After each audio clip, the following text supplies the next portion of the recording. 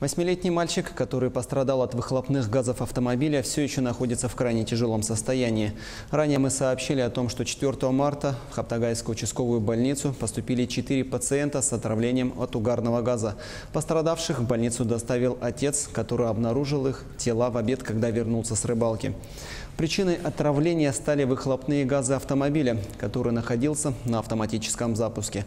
Гараж был пристроен к дому, именно поэтому газы в большом количестве проникли в жилое помещение, став причиной смерти двоих детей и крайне тяжелого состояния матери и восьмилетнего ребенка.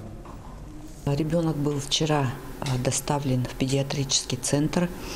А, Сегодня он находится у нас в реанимации педиатрического центра на аппарате искусственной вентиляции легких. И э, состояние его крайне тяжелое. А, В коме, как он поступил, так сегодня его состояние остается в коме. Пока а, никакой положительной динамики в отношении, допустим, вот выхода из комы и никаких признаков сознания ребенок пока не подает.